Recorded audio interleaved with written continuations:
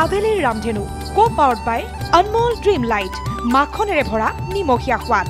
আগবঢ়াইছে Amul the taste of India T V S Apache R T R আৰু Godrej expert original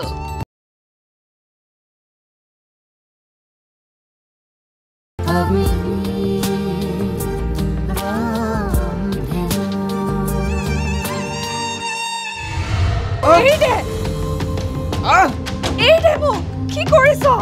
তহঁতে ৰেখাৰ লগত কি কৰিব খুজিছ ৰেখা কোনো ৰেখা চেখা ইয়ালৈ অহা নাই তেনেহলে মোক এনেকৈ জোৰকৈ ভিতৰলৈ আনিছ কিয় মই নিজ চকুৰে দেখিছো কি সেইজনী ৰেখা বা সঁচা মোক বাহিৰলৈ যাবলৈ দে এই চুপ ৰাজ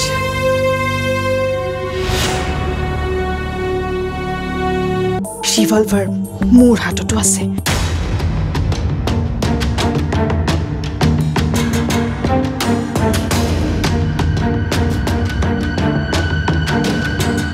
মোক ভিতৰলৈ যাবলৈ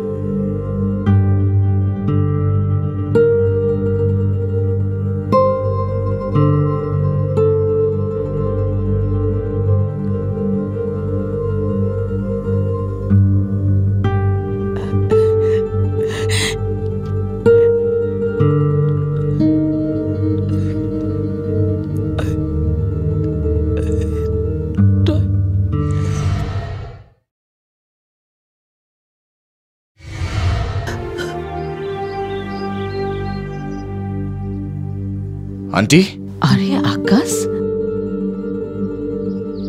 মই একো ধৰিব পৰা নাই। তুমি আৰু সেই অসুৰ মুখাৰ মাজত থাকিব নালাগে।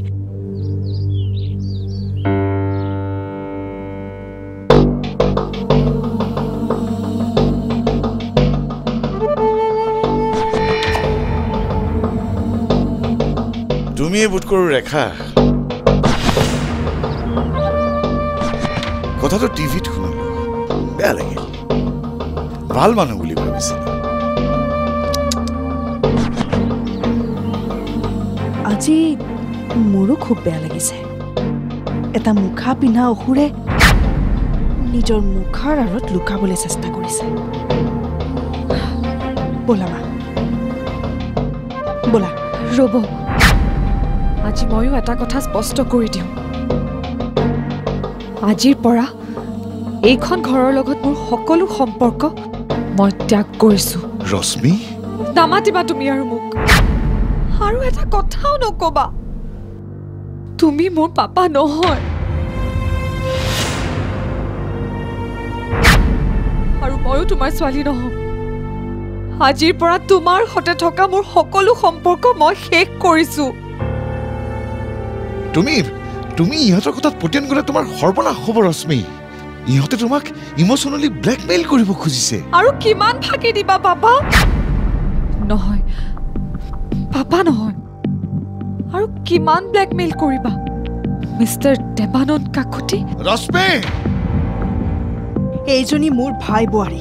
তোৰ ভায়েৰে এইক বিশ্বাসঘাতকতা কৰিছে। তহঁত তহঁত চবকে মই এশ গৰু মাৰি নিজৰ মুখত তেজৰ দাগ লৈ থকা বাঘৰ মুখত এনেকুৱা গোচৰণি ভাল নালাগে। ৰশ্মি ব'লা।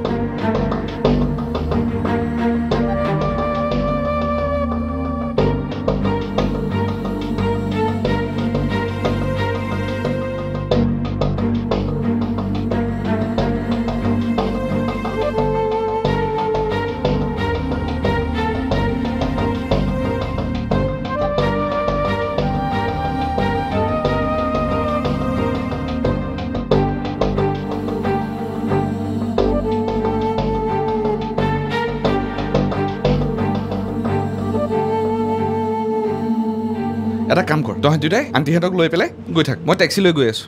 ঠিক আছে আমি এইবোৰ কৰি থাকোঁ। যা। দিয়ক আণ্টি।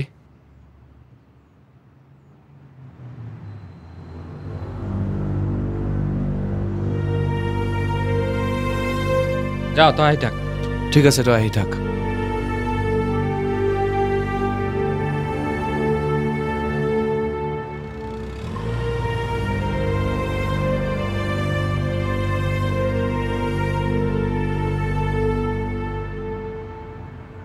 অঁ আগতে কথা বেলেগ আছিল। এতিয়া যি হ'ব মোৰ মতে হ'ব। একেটা কথাকে তোক বাৰে বাৰে কিমান ক'ব লাগে? কৈছে ছাৰ।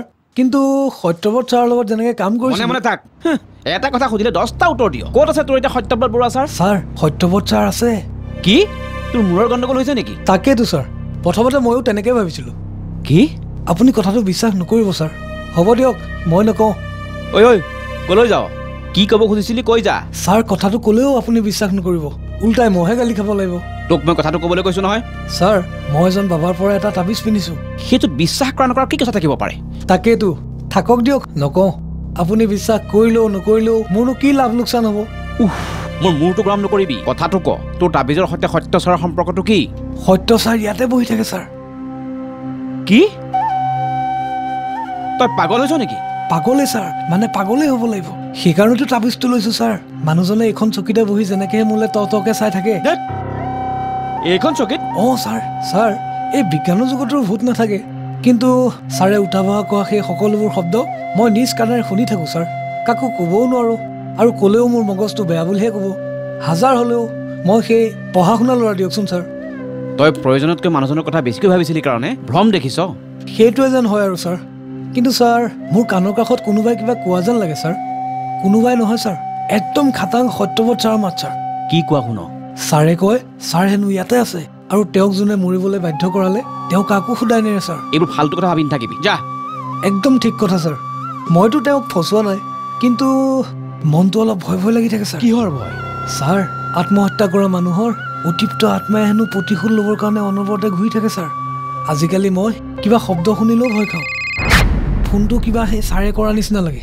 হ'ব মনে মনে থাক।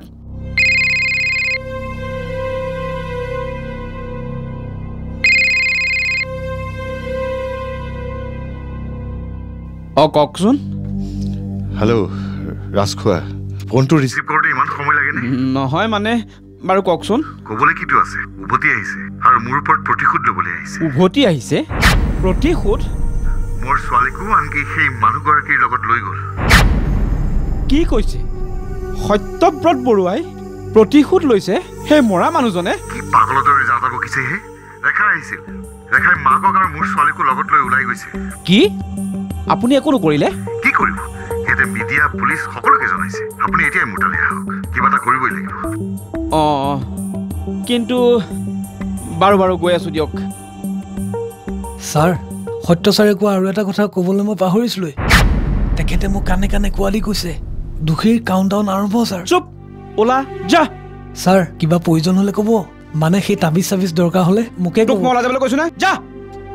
কথা ক'বলৈ আহিছে।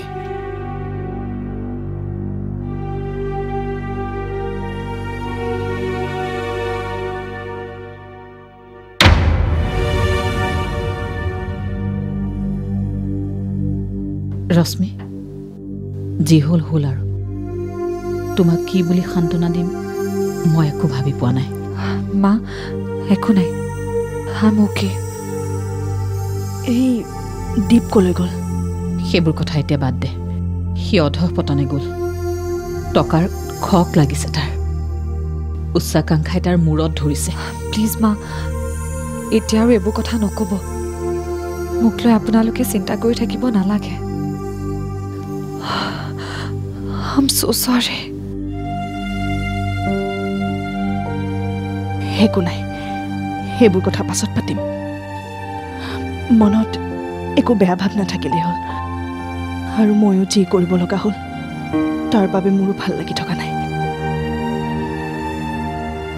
প্ৰকাশ প্ৰীতি ঘৰতে আছেনে? হা?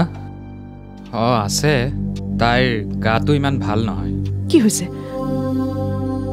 ডাক্তৰক দেখুৱাইছা নাই নহয় মানে। ডক্টৰে কৈছে চিন্তা কৰিবলগীয়া কথা নাই। প্ৰেগনেঞ্চিৰ কেছ।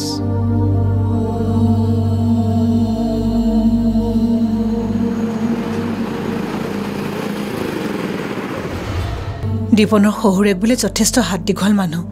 কেনেবাকৈ কিবা তাতে এতিয়া বিক্ৰমো নাই। ইফালে ৰেখাৰ মাক বেচেৰীজনী বা কি অৱস্থাত আছে? সেই অপদাৰ্থ মানুহৰ তেজ সুখাটোৰ ওচৰলৈ গৈছ। তই মোক লগত লৈ নগলি কিয়? মই তাক। ৰ'বচোন খুৰা। এতিয়া সেইবোৰ আৰম্ভ নকৰিবচোন। ৰশ্মি এওঁ কি গাড়ীতে আছে নেকি? অঁ। আহা তুমি ও বৌ সেই সাপৰ পোৱালিটো কিয় আনিছা?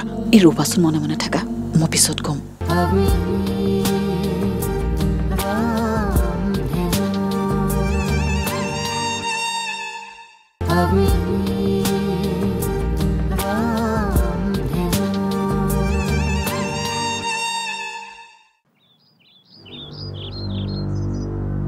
আৰে তই ইয়াত কি কৰি আছ? নহয় মানে দাদাহঁত অহাই নাই যে টেনশ্যন এটা হৈ আছে। কিয়? ফোন এটা কৰি খবৰ ল'ব পৰা নাই? কৰিছিলো আহি আছো বুলি কৈ কাটি দিলে।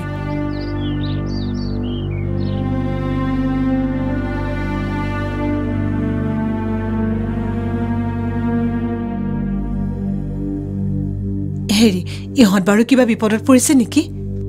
ফোন কৰোঁতে বোলে আহি আছো বুলি কৈ ফোনটো কাটি দিলে। মই মই সিহঁতৰ মতি গতি ধৰিবই নোৱাৰা হৈছো।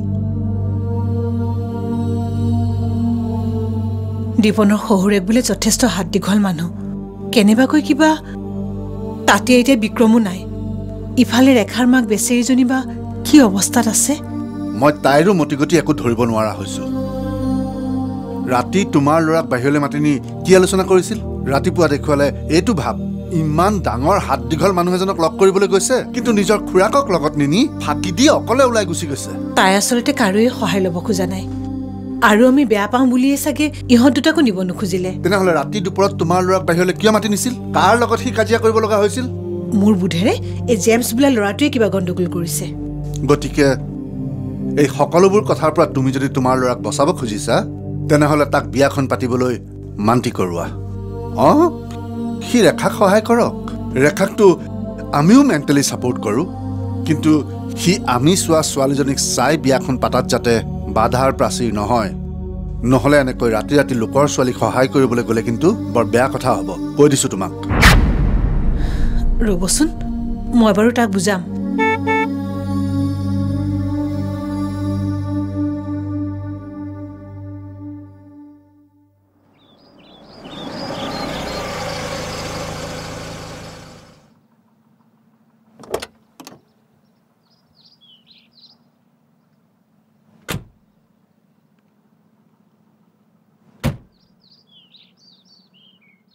আণ্টি আহিলে? প্ৰাৰ্থনা? আহি পালে। ভালে আছে? আছো দিয়ক। যাওকচোন আপোনালোক ভিতৰলৈ যাওক। আহা মা বেগকেইটা। ব'লা ভিতৰলৈ যাওঁ। ঐ ৰেখা তই বাৰু কেনেকুৱা ছোৱালী কচোন দোকানৰ পৰা আহোংগে বুলি কৈ মানুহজনী একেবাৰে গায়ব।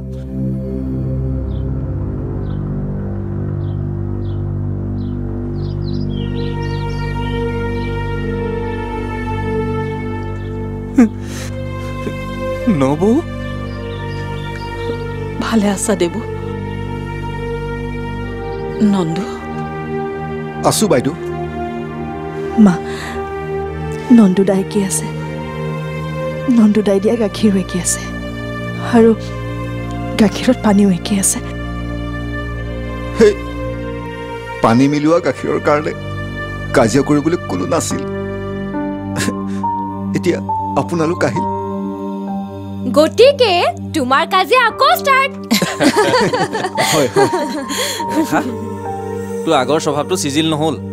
সেই অপদাৰ্থ মানুহৰ তেজ শোষাটোৰ ওচৰলৈ গৈছ। তই মোক লগত লৈ নগলি কিয়? মই তাক। ৰ'বচোন খুৰা। এতিয়া সেইবোৰ আৰম্ভ নকৰিবচোন। ৰশ্মি এওঁ কি গাড়ীতে আছে নেকি? অঁ। আহা তুমি। ও বৌ সেই সাপৰ পোৱালিটো কিয় আনিছা? এই ৰ'বাচোন মনে মনে থাকা। মই পিছত ক'ম। আংকল আণ্টি এয়া ৰশ্মি। নমস্কাৰ। মানে এওঁ মোৰ বোৱাৰী। বাৰু কথা পিছত পাতিম। ঠিক আছে। সকলোকে ভিতৰলৈ লৈ যোৱা। আহা। মা আহা। প্ৰাৰ্থনা অলপ আহিবাচোন।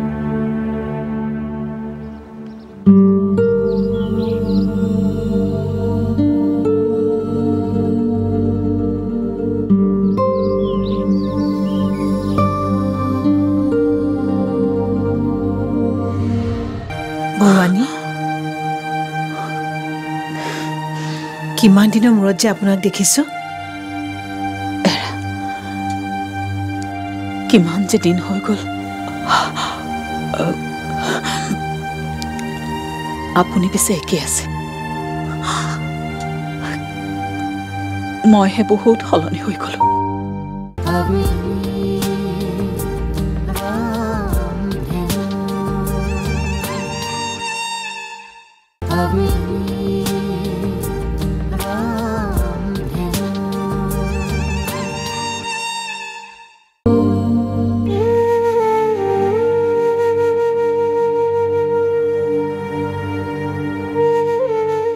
প্ৰাৰ্থনা।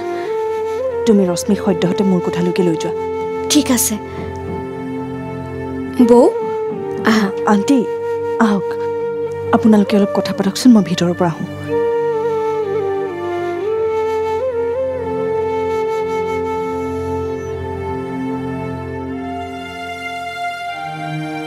ভৱানী?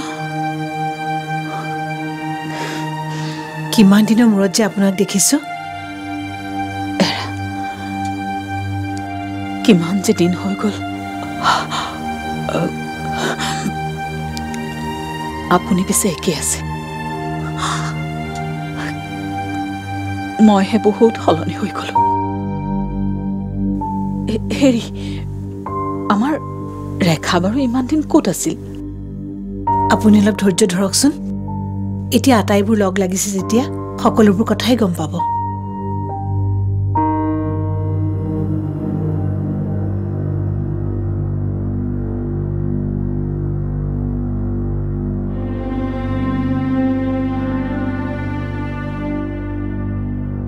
এনেকৈ অকলে অকলে কোঠাৰ ভিতৰত?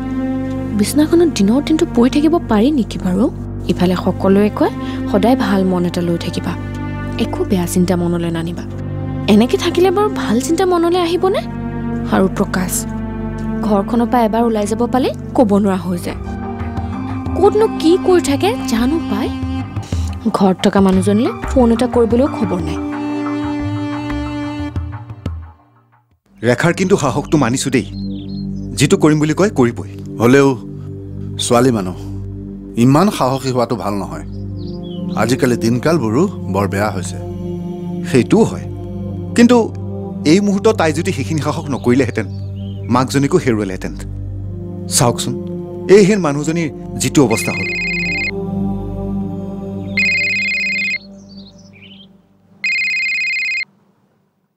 হেল্ল' কি হ'ল তোমাৰ?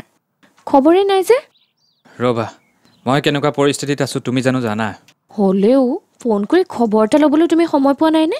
নে ঘৰ এখন আছিলে বুলি পাহৰিয়ে গ'লা? তুমি সকলো কথা তেনেকৈ কিয় ভাবা? মই আজি ক'লৈ আহিছোঁ তুমি কি নাজানা? জানো সেইকাৰণে টেনশ্যন বেছি হৈছে। এতিয়া সেইবোৰ ফাল্টু চিন্তা বাদ দিয়া। অলপ আগতে মাক লৈ ঘৰ সোমাইছোহি কি? মা আহিল? মাক আনিবলৈ যোৱা বিষয়টোক লৈ ৰশ্মিহঁতৰ ঘৰত ডাঙৰ হুলস্থুল কি হ'ল মোক কোৱাচোন? সেইবোৰ বহুত কথা। এতিয়া নহয়। তোমাৰ লগত আৰু কিছু কথা পাতিবলগীয়া আছে। এতিয়া ৰাখা। অ শুনা। মাৰ লগত ৰশ্মিও আহিছে। কি? ৰশ্মি আহিছে? কিন্তু কিয়? কৈছো নহয় পাছত গৈ সকলো ক'ম। এতিয়া ৰাখা। হেল্ল' শুনাচোন। হেল্ল' উহ, ভালকে কথা এটা কোৱাৰ ধৈৰ্য নাই। ফোনটো কাটিয়ে দিলে নহয়। ৰশ্মিও মাৰ লগত ঘৰলৈ আহিছে। আচৰিত। কথাটো কি হ'ব পাৰে বাৰু? কিবা এটা ৰহস্য নিশ্চয় আছে। ইয়ালৈ ফোন এটা কৰোঁ। সেইটো এতিয়া ফোনটো ৰিচিভ নকৰা হ'ল। ইমাননো কিহত বিজি হৈ থাকে নহয়। অঁ সেইটো ৰশ্মিৰ লগত কাজিয়া কৰি ঘৰৰ পৰা ওলাই আহিছোঁ বুলি কৈছিল। চে কি কৰা যায়? কথাটো কি হৈছে একো গমেই নাপালোঁ নহয়। মোৰ বোধ কৰোঁ দীপন তাত নাছিল। আৰু মই যিমান দূৰ জানো দীপনৰো সিহঁতৰ লগত কিবা কথাত সংঘাত হৈছে। দেৱানন্দ কাকতীয়ে নিজৰ জীয়েকক ইয়ালৈ লৈ অহাৰ বাবে একো ব্যৱস্থা হাতত নল'বনে?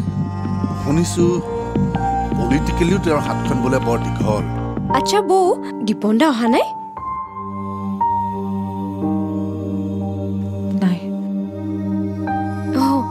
অফিচত গৈছে চাগে। হ'ব পাৰে। জানো। আপুনি কি কথা কৈ আছে মই হ'লে একো ধৰিব পৰা নাই দেই। পাৰিবি? নলেজ লাগিব নলেজ ৰেখাই আজি মাকৰ লগত কাক লগত লৈ আনিলে তই দেখা নাই? অ' আপুনি বোৱাৰীৰ কথা কৈছে। সেইজনীক মোৰ বোৱাৰী বুলি নকবি। তাই সাপৰ পোৱালি। আচ্ছা তই মোক এটা কথা কচোন। ইমানবোৰ হৈ গ'ল কিন্তু প্ৰীতিয়েও যে এবাৰো খবৰ ল'বলৈ নাহিল। সেইকাৰণেতো মই ভাবিছোঁ। প্ৰীতি আৰু দীপন বহুত বেলেগ।